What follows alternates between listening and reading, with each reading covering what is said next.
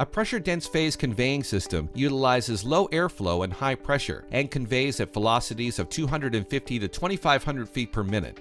It is a gentle way to convey products where degradation is a concern, such as infant formula, nutritional powders, agglomerated and instantized powders, and other powders. The process begins with compressed air available in a surge tank. All air control valves are closed. The inlet valve is open so that the product can fill the pressure vessel. Displaced air vents back to the surge hopper above. When the high-level probe in the pressure vessel is covered, the inlet valve and vent valve will close. Compressed air is regulated into the top of the pressure vessel.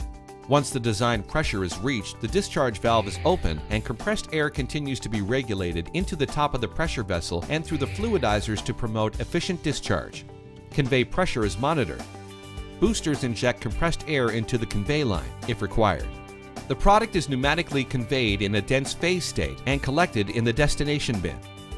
Product is separated from convey air through filter bags. Reverse pulse cleaning keeps the filter bag running at maximum efficiency and clean air is exhausted through the filter. When the product uncovers the lower level probe in the pressure vessel, the discharge valve and air control valves are closed. Product in the convey line stops. To bring the pressure vessel back to atmospheric pressure, the vent valve is open, releasing the remaining vessel pressure into the surge hopper above. The process then starts over, filling, pressurizing, conveying, and venting until the product feed stops or the destination bin is full. Once the product feed stops, the system is ready to be emptied. The inlet valve, vent valve, and discharge valve are closed. The pressure vessel is pressurized to a high pressure. The discharge valve is open.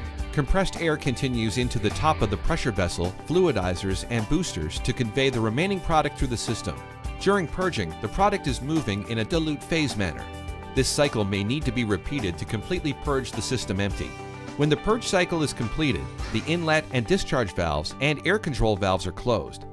The vent valve is open to equalize the system.